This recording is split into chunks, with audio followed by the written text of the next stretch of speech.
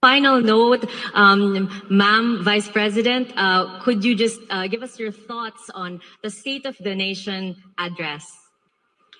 Um, yes. So initially, uh, the SONA, the, SON, the State of the Nation of uh, President Marcos, I think uh, everyone or many of those who do not understand economic numbers were overwhelmed with the numbers in the first part of uh, the speech. That's that was, I think, the reason why it take it took a, took it took a long time for people to start clapping because uh, the economic part was uh, in the uh, beginning, and many people really do not understand economic numbers. But uh, and um, another um, observation of mine uh, was uh, immediately after the Lakas tawa talaga ako dito mga tol. Nagbabalik sa alaala ko pag ako, nung ako'y nagtuturo sa kolehiyo eh. Kasi sa review center, walang ganyan. Pero sa kolehiyo, nung ako terror akong teacher, takot sa akin talaga mga estudyante ko, mga tol. Pag tinanong ko sila at hindi ka nag-aral, iyari ka sa akin, ganyan. ganyan ang nangyayari sa mga estudyante ko. Anak ka ng teteng, sumasagot talagang, uh, pero pagka ganyan naman ang estudyante ko, kung sa loob ng classroom, okay sa akin yan kasi nagtatry ka eh. May kasabihan kami sa training center, try to find the answer, sir. Pag kang sasagot ng no comment, laging pag hindi mo alam, try to find the answer, sir, pero papawis ka na. eh ito, ang problema dito, vice presidente ito, mga tol. At Department of Education Secretary, sana naman, sana naman na ipakita niya na karapat dapat siya bilang secretary. Kasi pag secretary of education ka, dapat magaling ka. Anak ng teting, tinatanong ka lang kung anong masasabi mo sa SONA tapos ganito ang madidinig natin. Final note, um, ma'am, Vice President, uh, could you just uh, give us your thoughts on the State of the Nation address? um, yes. So initially, uh, the SONA, the, SON, the State of the Nation of uh, President Marcos, I think uh, everyone or many of those who do not understand economic numbers were overwhelmed with the numbers in the first part of uh, the speech. That's that was, I think, the reason why it take it took a it took a long time for people to start clapping because uh, the economic part was uh, in the uh, beginning and many people really do not understand economic numbers. Ay, nako! Yung mga katabi niya, gusto ko makita ang reaksyon eh. Hindi lang na, hindi lang na itututok sa kanila yung camera. Anak ng teting na yan. Mga DD sheets. Ganyan ba gusto niyo maging pangulo? But, uh, and um, another um, observation of mine uh, was uh, immediately after the uh, speech uh, of the president while I was going home. I was talking to one of our writers in my office and I told him that... Dito ako natatawa, sabi niya, hindi niya raw kaya sumulat ng ganun. I really liked how the speech was written because I do not write that way. And ah, I truly... Hindi pala. Mali pala yung interpretation ko. Hindi pala ganun daw yung pagsulat niya. Ay nako, nagpapasaya lang tayo mga tol. Salamat sa 1,100 na manonood. Wala pa po tayo sa topic natin. Sige na nga. Shoutout na tayo sa lahat po. Shoutout po sa inyo. Punta, mamaya na po tayo mag-shoutout pagkatapos po ng ating programa uli. Uh, balik tayo dito sa ating uh, tatalakayang balita. Nakang teten na yan. Lakas tawa ako dito. Lakas tawa. Teka lang mga tol, aalisin ko lamang muna yung pagkaka natatawa talaga kasi talaga ako. Every time na panonoorin ko yun, reminiscing ako sa mga estudyante ko. Parang nakikita ko yung mga estudyante ko na hindi nag-aral sa kanilang klase, eh, sa kanilang uh, assignment. yung sasagot para lamang may maisagot ka, lak ng teteng na yan. Ako kasi di ko na-experience yan nung kolehiyo ko. Pero nung elementary sa kanong high school ako, ganyan na ganyan ako. Kaya puro pala ko lang grades ko eh. Nung elementary high school ako eh. Tamad ako mag-aral noon eh. Puro trabaho iniisip ko, tumulong sa nanay at tatay ko. So at, the, at, at, at a young age, ang isip ko kumita na ng pera that time. Marami akong alam na trabaho nung kabataan ko eh. Kaya napabayaan ko talaga pag-aaral ko. Pero na-recognize ko na mali ako nung natigil ako sa pag-aaral. Pinag-aaral kasi ako ng nanay ko. Ay hindi, ako nag-intend na mag-aral sa Mapua. Ang problema, hindi na po kaya ng mga magulang ko, kaya natigil ako. Isang semester, di ko man lang natapos. Kaya after five years, nung nanumbalik ako, self-supporting na ako, talagang tutok ako sa pag-aaral. Ang general average ko is 1.37. Ang problema, hindi po ako nag uh, magna cum laude kasi meron po akong tres. Kaya hindi ko nakuha yun. Salamat sa Diyos, nabigyan ako ng pagkakataon na mag number one sa board. Ngayon, punta na tayo dito po sa sa ating tatalakayong balita. Muli, shout out po sa inyong lahat. Di mawala yung tawa ko. shout out po sa inyong lahat, mga tol. Ha? Si dating Pangulong Rodrigo Duterte, gaslighting na naman ngayon. At pinalalabas niya na si Pangulong Bongbong Marcos naghahangad na pahabain ang termino bilang presidente. Una, wala po yung katotohanan. Pero bago natin puntahan yan, ano ba ang pinakamainit na issue ngayon kaugnay po ng West Philippine Sea? Balikan po natin yung mga pangyayari sa nakalipas na mga araw. Si Rodrigo Duterte sa kanyang latest press conference, tinanggi niya po na meron daw pong secret agreement. Pero sa kabilang dako, yung ka-secret agreement niya daw ay kinumpirma ito sa ating kasalukuyang gobyerno. Kinumpirma na po ito ng Chinese Embassy. Kaya nga po ito po yung naging tugon ng ating Pangulong Bongbong Marcos nang siya po ay matanong ng mga reporter habang siya po ay nasa Estados Unidos noong April 13, 2024. Sabi po ng ating Pangulong Bongbong Marcos, with the confirmation of the Chinese Embassy, we now know that there was a secret agreement ano ba ang ipinangako ng Duterte administration sa China? Dahil hindi pa natin alam, ngayon lang tayo nakakatiyak na mayroon pala talagang agreement. Tawag nila is gentleman's agreement. Tawag ng ating Pangulong Bongbong Marcos dyan, or sabi niya rito, tawag ko dyan, secret agreement. At tawag nating mga Pilipino, secret agreement naman talaga. Dahil hindi po natin alam eh, kahit gentleman's agreement ang tawag po nila dyan, since ito po involves the concern or interest of our country, dapat alam po ito ng taong bayan. Pero hindi po alam ng taong bayan. Kaya ito po ay talagang sikretong dealings ng ginawa ng China at ng Duterte administration. At kaugnay po niyan, meron na pong resolusyon sa Senado na ipinasa ito pong si Senator Risa Ontiveros at siya po ay nananawagan na magkaroon po ng hearing in aid of legislation sa tinatawag na gentleman's agreement. Pero sa ating Pangulo, nililinaw na po natin ngayon, secret agreement po yan. Ako, medyo duda po ako sa posibilidad na magkaroon ng hearing sa Senado kasi majority ng senador natin ngayon, tameme kapag ka ang pinag-uusapan si Rodrigo Duterte. Di ko alam kung takot ba sila o umiiwas lamang sila na maaari silang mawala ng boto kung sila ay muling tatakbo sa pagka-senador sa hinaharap. Pero dito, sa re-reaksyonan po nating balita, eh pretty sure tayo na mangyayari po ito. Pakinggan po ninyo ito mga tol. Iimbestigahan na ng Kamara ang umano'y gentleman's agreement ni dating Pangulong Rodrigo Duterte kay Chinese President Xi Jinping kaugnay sa status quo sa Ayungin Shoal.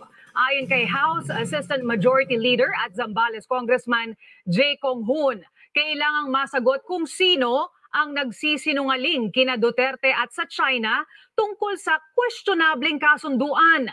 Very interesting ito mga tol bakit? Kasi kapag ka nagpatuloy na ang investigasyon na ito diyan sa Kongreso, definitely haharap kaya itong si Rodrigo Duterte. Um, I should say, definitely ipapatawag siya ng Kongreso. At ang tanong, Haharap kaya itong si Rodrigo Duterte? Pero wala siyang magagawa. He is just an ordinary.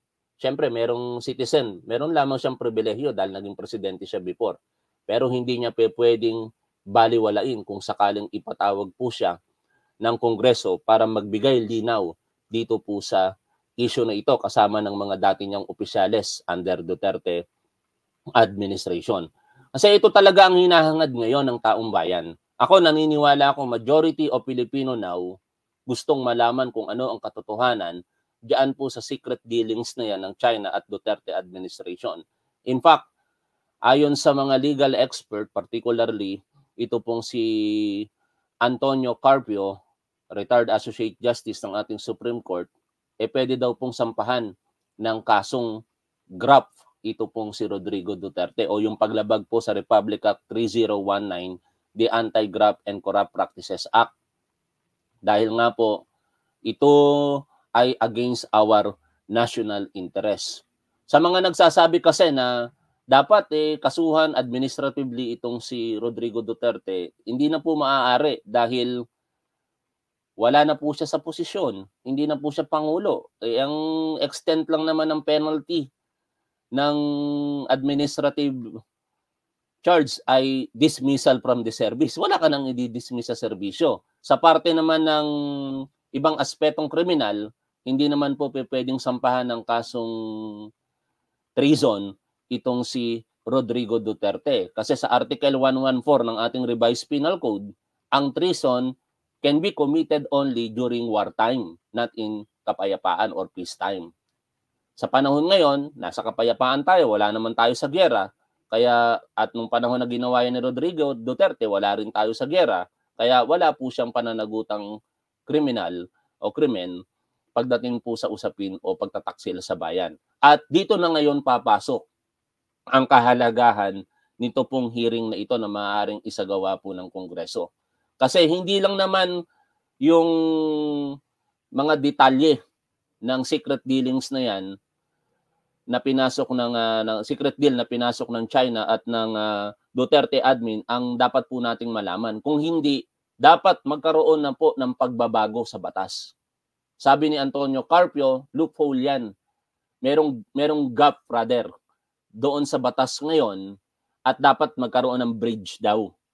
At yung bridge na yan na tinatawag niya, ito po yung amendment sa ating Act 3819 or Revised Penal Code. Napakatanda na po kasi ng batas na ito mga tol. It was uh, the Revised Penal Code was approved on December 8, 1930 and took effect on January 1, 1932.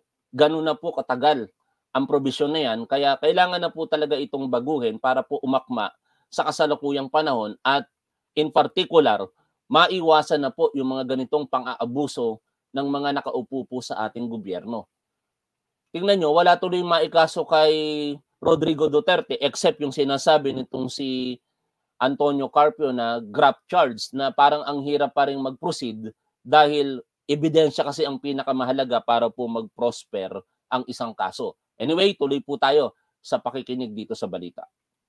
Dahil malaki umano ang implikasyon nito sa mga karapatan ng bansa. Gusto naman ni Deputy Minority Leader at ACT Party List Representative Franz Castro na matalakay na ang House Resolution 1216 na inihain noon pang isang taon para malaman ang buong detalye. Basahin nga natin to. Sabi po dito nitong si Franz Castro, We must know all that there is to this unpatriotic deal and the ones responsible should be held accountable baka na ibenta na pala ni Duterte ang West ay di pa natin alam. Eh, sa tingin ko naman, in fairness naman ha, tingin ko naman wala naman pagbenta siguro. Pero sigurado tayo na ang pinasok na yan na agreement nitong si Duterte ay against our national interest. Kasi ang buod niyan mga tol, ayungin show lang pinag-uusapan eh. At ang Ayungin Shoal ay bahagi po ng ating exclusive economic zone. At dahil nga po diyan, tayo dapat ang merong jurisdiction o sa madaling salita, ang gumagamit ng mga matatagpuang likas na yaman, living or non-living things diyan. At yung ating istruktura na maituturing na, na walang iba kung hindi BRP Sierra Madre, ay nandyan na for two decades, more than two decades na since 1999. At nasa karapatan po natin, ayon sa mga binabanggit na batas ng mga legal expert, na yan po ay kumpunihin kung meron mang status ko, ito ay nagsimula 2002. Ayon po sa mga legal expert, hindi po sa akin ayon ito ah. ah ayon kay Antonio Carpio in particular. Ito po ay dahil sa Declaration of Conduct na nag-operate since 2002. Kaya kung ano man yung mga istruktura na matatagpuan diyan sa South China Sea or sa West Philippine Sea na bahagi ng South China Sea, status ko as is tayo diyan. Pero mula noong 2002 pabalik, lahat ng mga nakalagay na istruktura diyan, karapatan ng sino mang bansa na nagmamay-ari noon na kumpunihin ito. At yon ang naging disadvantageous para sa atin. Dahil sa panahon ni Rodrigo Duterte, pumayag siya sa kagustuhan ng China na huwag kumpunihin ang BRP Sierra Madre. Eh alam naman natin na kapag hindi po yan kinumpuni, kinalaunan, masisira at mabubulok na talaga yan ng tuluyan at hindi na po yan magagamit ng ating mga sundalo para bantayan ng ating exclusive economic zone, particular ang Ayungin Shoal. At yon ang ultimate objective ng China kung saan inayunan nitong si Rodrigo Duterte.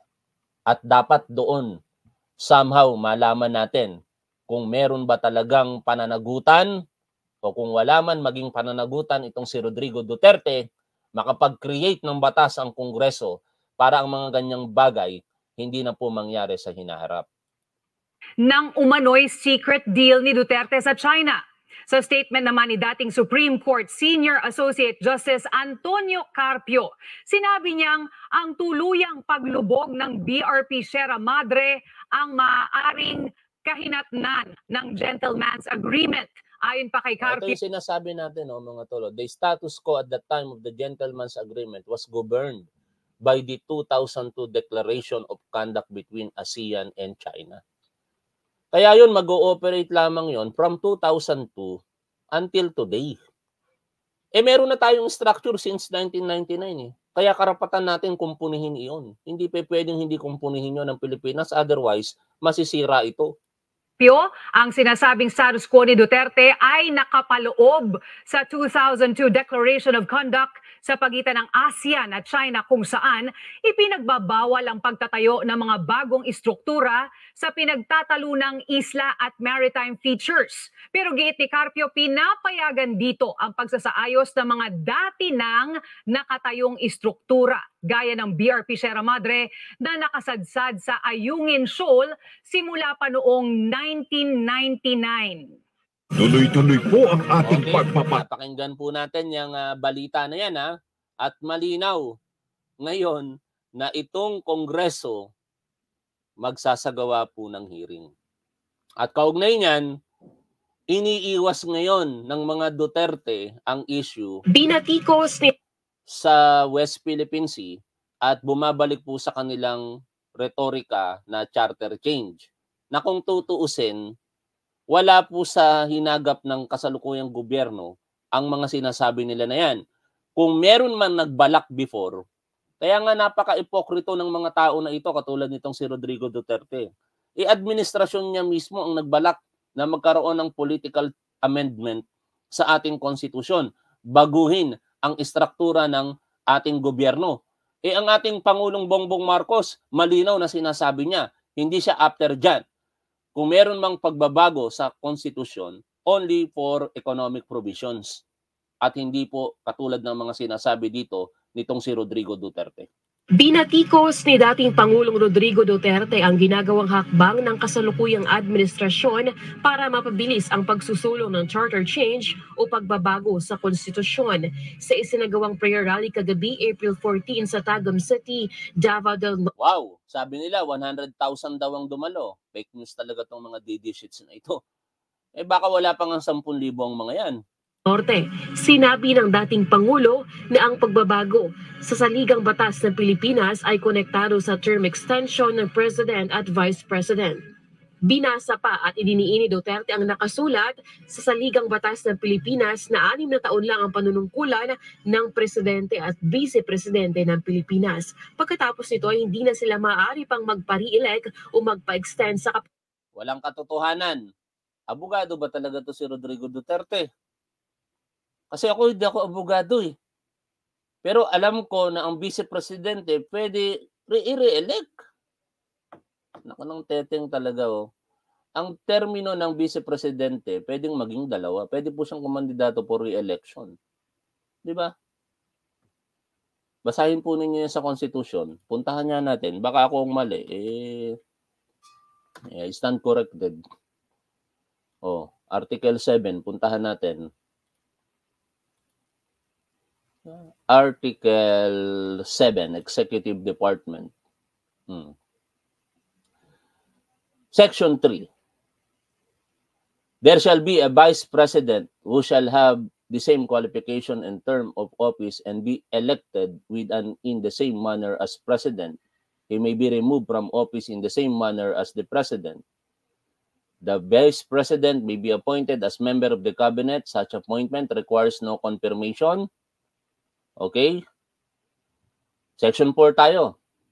The president and the vice president shall be elected by direct vote of the people for a term of six years, which shall begin at noon on the 30th day of June next following day of the election, and shall end at noon of the same date six years thereafter. The president shall not be eligible for any re-election.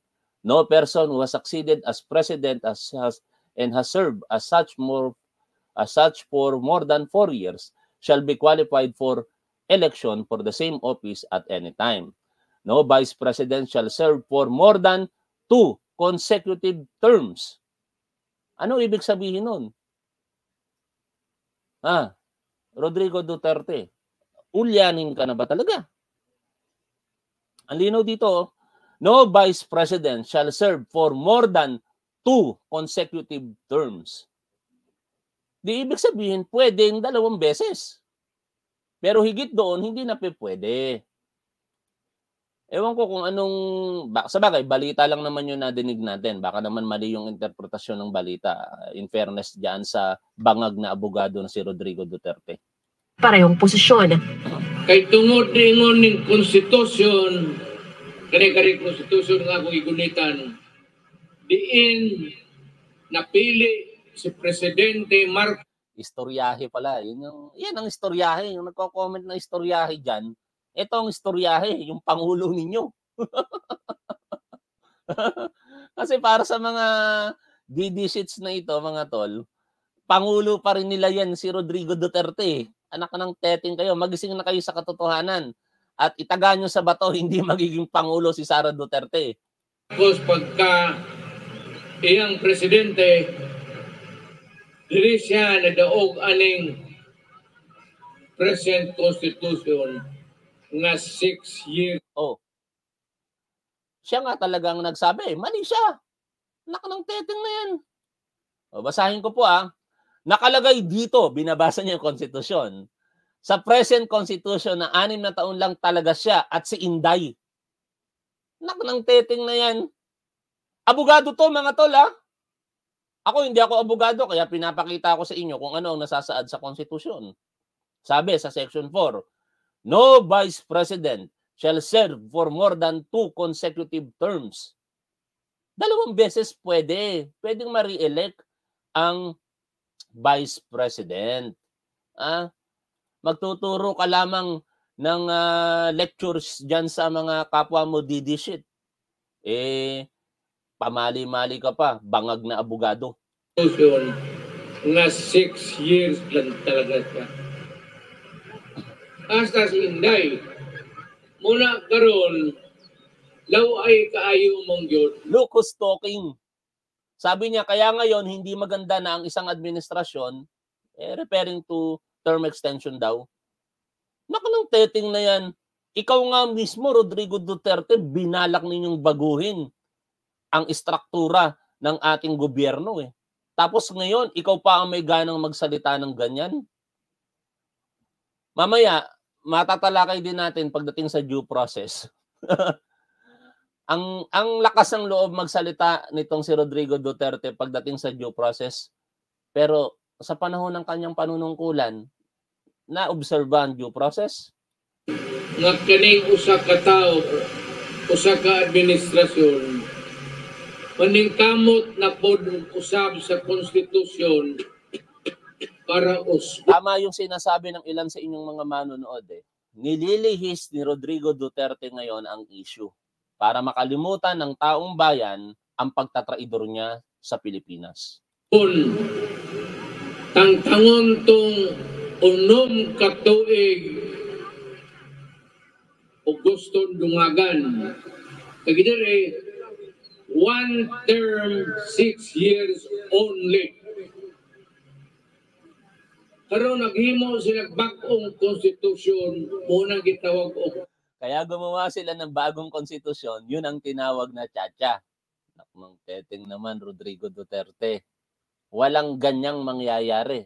Ako, for delikadesa mga tol, pagka naghangad si Pangulong Bongbong Marcos ng extension of term niya, hindi ko na po siya susuportahan beyond 2020. Itagaan niyo po sa bato yan.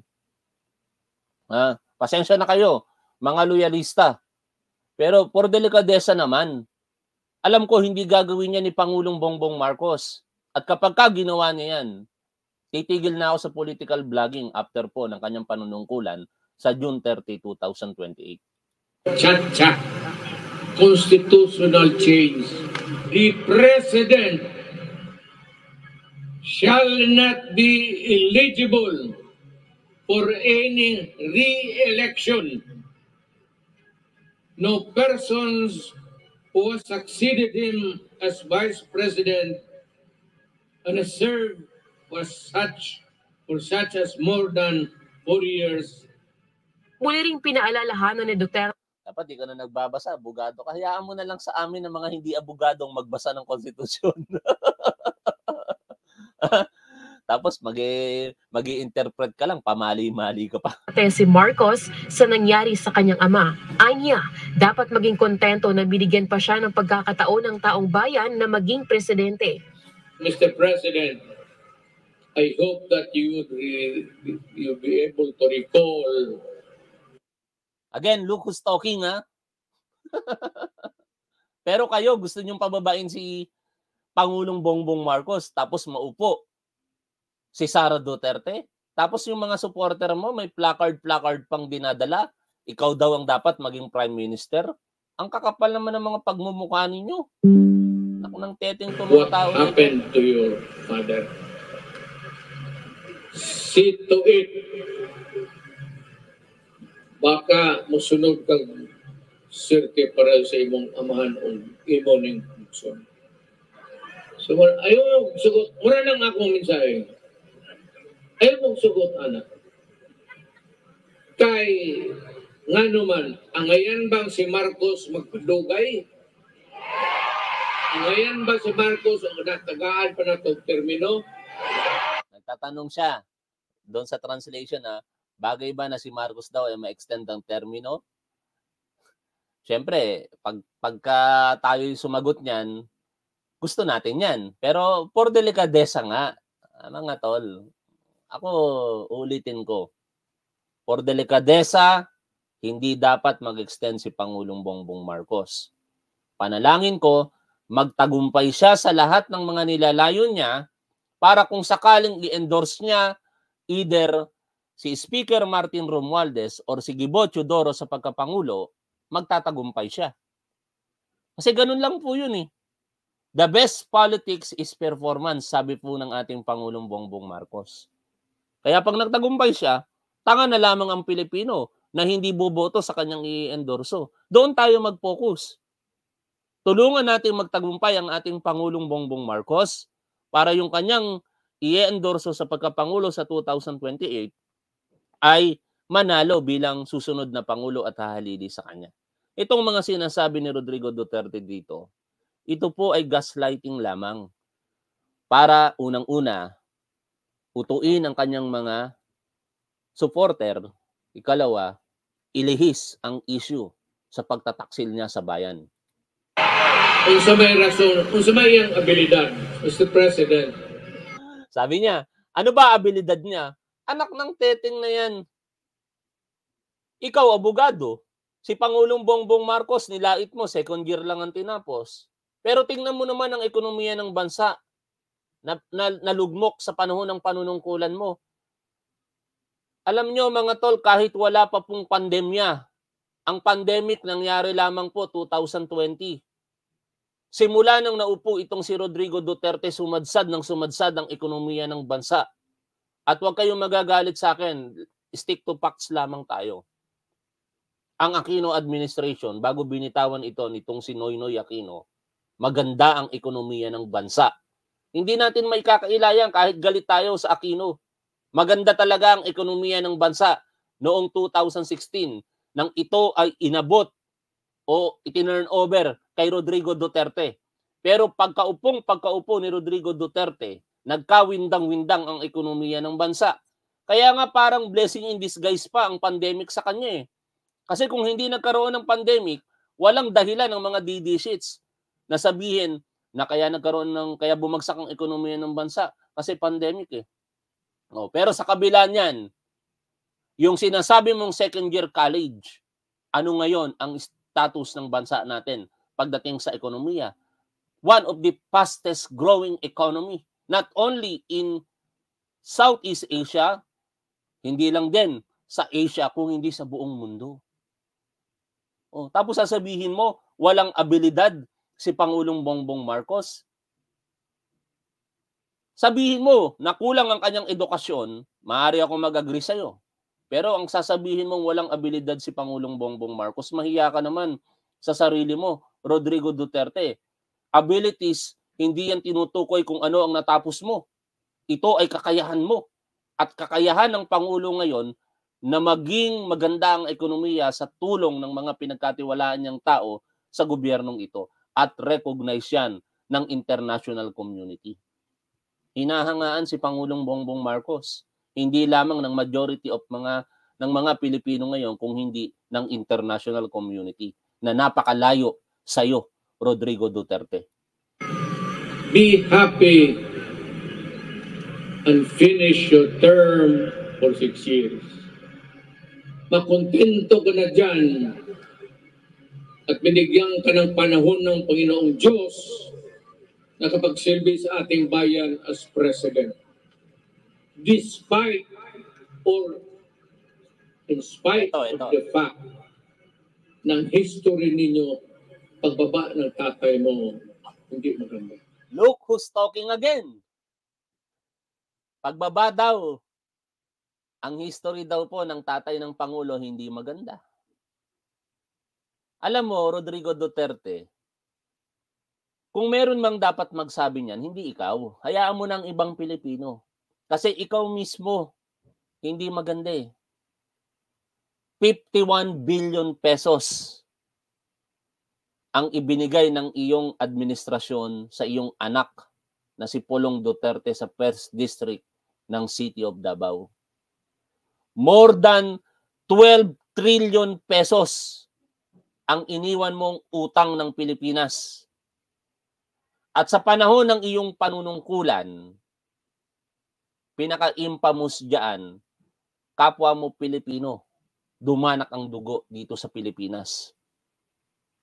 Ako, living witness ako diyan, Rodrigo Duterte. Living witness ako. Nakita ko ang mga tao na pumipikit ang mata dahil sa tama ng bala. Nakarinig ko ang mga tao na nagmamakaawa at sinasabi na meron silang pamilya at mga anak at huwag silang patayin. Naranasan ko matalsikan ng dugo sa labi. Ganyan ang ginawa mo, Rodrigo Duterte. Hindi man ikaw direktang nag-utos. Pero dahil sa mga pronouncement mo sa harapan ng media at sa publiko, ganoon ang nangyari sa loob ng anim na taon na panunungkulan mo sa Pilipinas. Tapos, may gana ka pang magsabi ng mga ganyang uri ng pananalita sa ating Pangulong Bongbong Marcos? Ang kapal naman ng pagmumukha mo, Rodrigo Duterte. And yet, ang Pilipino, binigyan kayo ng pagka, pagkaiintindi. O, o, o gipasaylo. Ayon pa kay Duterte, pwede naman anya nilang palitan ng konstitusyon pero epektibo na sa susunod na administrasyon. Samantala, libo-libo Pagka si Sara na nakaupo, ganun ba yon? Pagka kayo, pwede. Sa panahon mo, pwede. Sa panahon ni Pangulong Bongbong Marcos, hindi pwede. Which is hindi naman gagawin ng Pangulo natin ngayon. Pero pagka panahon nyo, pwede. Nak ng teteng talaga tong mga to, mga ipokrito. Tapos, pabanggit-banggit ka pa ng due process tungkol doon sa gobernador na sinuspindi ng Office of the President. Ano ang challenge sa inyo dyan ni Pangulong Bongbong Marcos? Mag-imbestiga kayo. Open yan for investigation. Tingnan ninyo kung mali ang naging desisyon ng Office of the President. Libo mga supporters ni dating Pangulong Duterte mula sa Luzon, Visayas at Mindanao ang dumalo sa isinagawang hakbang ng Maisog Prayer Rally sa Davao del Norte Sports Complex sa Tagum City kagabi. Kabilang sa mga dumalo sa rally, sina Davao City Mayor Sebastian Itong mga tao na ito, tandaan ninyo ito mga tol ha. Sa mga taga Davao, bahala kayo sa buhay ninyo kung gusto niyo iboto ang mga Duterte pa rin. After all, lugar nyo yan. Pero yung mga nagnanais na kumandidato sa pagkasenador, siguraduhin natin, wag po natin silang iboboto katulad po ng mga tao na susunod dito. Baste Duterte, dating House Speaker at ngayon Davao City First District Representative Pantaleon Alvarez, dating Presidential Spokesperson Harry Roque, at former Executive Secretary Attorney Vic Rodriguez. Dinatikos na mga ito ang umano'y hindi makatarungang 60-day suspension ni Davao del Norte Governor Edwin Jubahib na isa sa top-performing governor sa bansa noong nakaraang taon. Tutol din na mga ito sa isinagawang People's Initiative Hindi issue rito kung ikaw ba'y top performing governor. Ang issue dito kung meron bang pag-aabuso sa iyong posisyon na ginawa mo sa panahon ng iyong panunungkulan.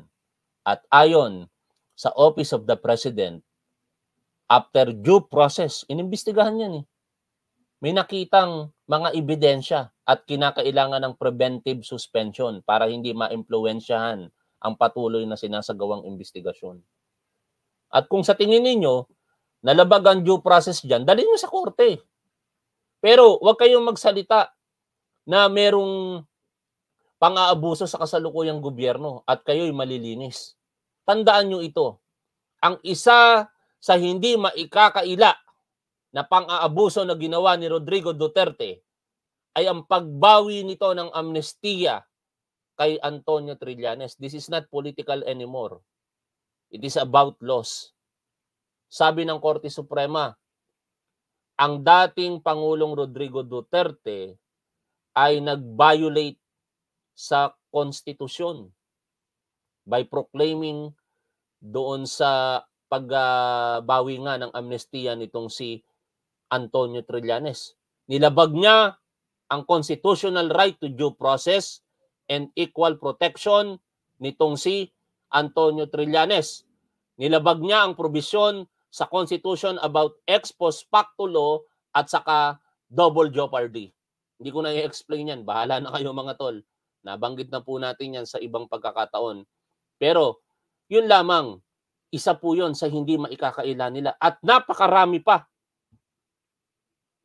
Binigay nyo ba ang due process kay Leila de Lima? Ito, it's not about color, political color mga tol. Facts lang tayo dito. Hindi dahil dilaw sila, hindi na natin babanggitin ang mga pangyayari sa kanila. Naibig, naipagkaloob nyo ba ang due process kay de Lima? Ha? Naipagkaloob nyo ba ang due process kay Antonio Trillanes? Binigyan nyo ba ng pagkakataon ang Vice Presidente at that time? Oh. Kaya wala kayong moral ascendancy para magsalita ng mga ganitong bagay. Kung magkikriticize kayo sa kasalukuyang gobyerno, siguraduhin ninyo na wala kayong puwing sa inyong mga mata. Nak ng teteng, nakikita ninyo ang mga sinasabi niyong pagkakamali ng kasalukuyang gobyerno, pero yung puwing nyo sa mata, hindi nyo nakikita. Mga ipokrito tong mga nagsasalita na ito dito sa mga prayer rally nila eh. Ewan ko kung meron na namang nagsasayawan dito. Hindi ko naman kasi pinanood dito. Wala akong panahon manood dyan. Salamat na lamang sa mga matsatsagang nanonood at nagpapaalam sa atin sa mga nangyayari dyan. Anyway, maraming maraming salamat sa inyo mga tol. Tayo po ay magla-live sa Top 1 Alpha maya-maya ng konti. After a couple of minutes, ipe-prepare ko lamang yung ating uh, link. At magkita-kita po tayo doon for a separate topic. Hindi ko pa alam kung anong topic, pero magkita-kita tayo. Aha, gagawa lang ako ng title, tapos banat na tayo. Maraming maraming salamat. Shoutout po. Magkita tayo doon ha. Top 1 Alpha mamaya-maya. Shoutout muna tayo bago tayo pansamantalang maghiwa-hiwalay. Kay Pomeranians, kay Alberto, kay Bel Tamayo, Nilda Arceo, Mami Chicharon Bulaklak, ingat po kayo. Kay Junjun Castro, Chiki Sadino, Judith Gabiola Cross, Juby Sidro, kay RC Cubillanes, kay Ronald Albano, Edwin Angel, Edwin Angel, Albert Granada, Judith, okay, si Rosendo Pel, ang bilis eh, Lori Mamawag, Olive Lopez, Elena Ilarde, Malod, kay Roger Remigio, kay Edith Manyago, Imelda Tolentino, Joey Lau, Wonder Woman, Esther Yangas, Pasner Porger, Pelizardo Dalida, Erwin Lopez, Mary Ann Lidawan, Wilfredo Maala, Byron Katol, ay isang pangalan mo ah. Jane Karunungan, M.E. Nelly Pasag, Rosalia Bison, Pomeranian, Sel Macdis, K. Bukatan, Ablanque. Ay, hindi pala muna mga tol. Mamaya na tayo mag-live streaming. Kakain pala muna ako.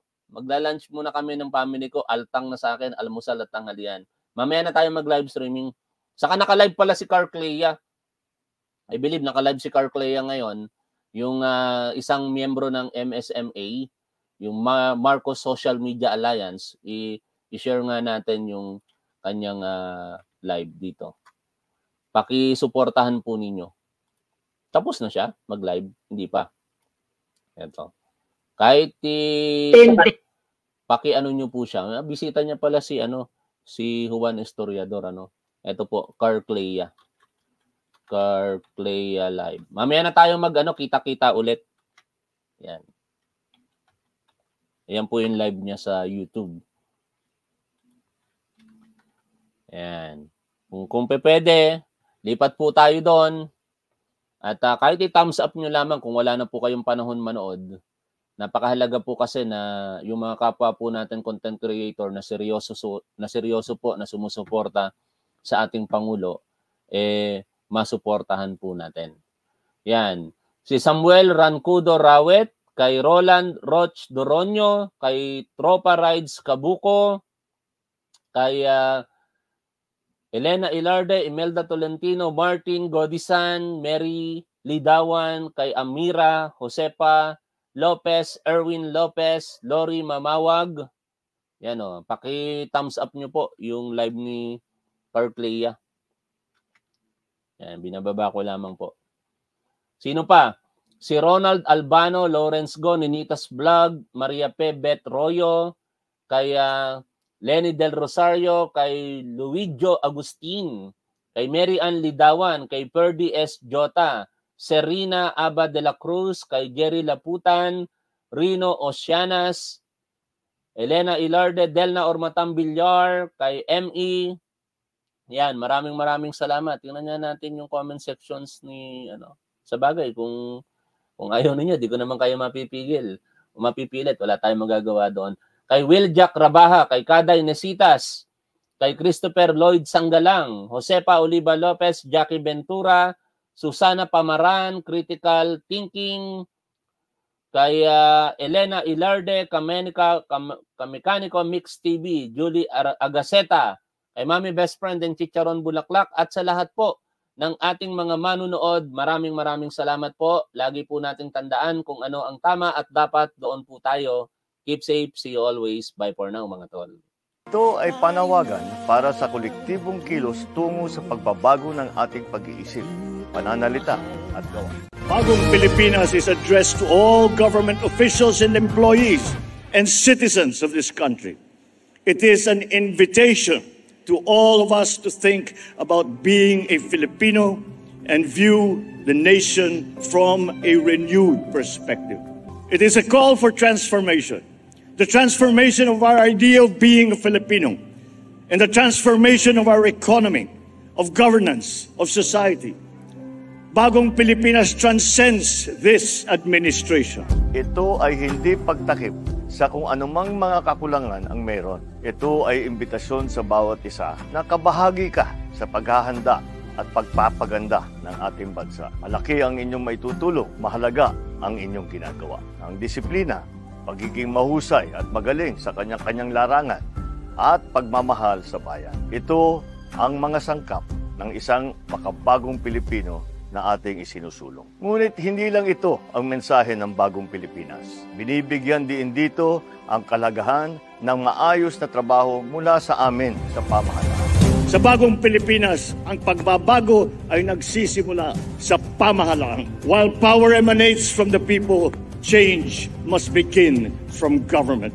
Sa isang bagong Pilipinas, lalo pa natin pupukpukin na maging maayos ang ating mga lingkod bayan. Una, bawal ang tamad at makupad sa pamahalaan. Services must be fast. Projects must be completed on time. Deadlines must be met per schedule. In whatever government office, red tape must be replaced with a red carpet.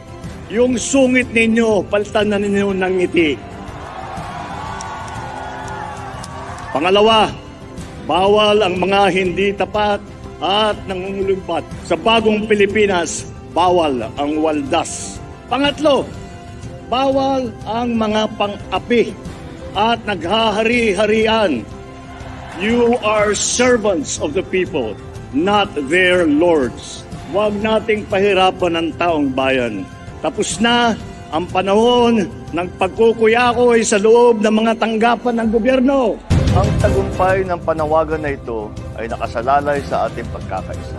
Sa isang bagong Pilipinas, walang puwang ang mga paninira at paghahatakang pababa. Unahin natin ang ating bayan. Magbago na tayo dahil walang bagong Pilipinas kung walang bagong Pilipinas. Sa bagong Pilipinas, may pag-asa ang lahat.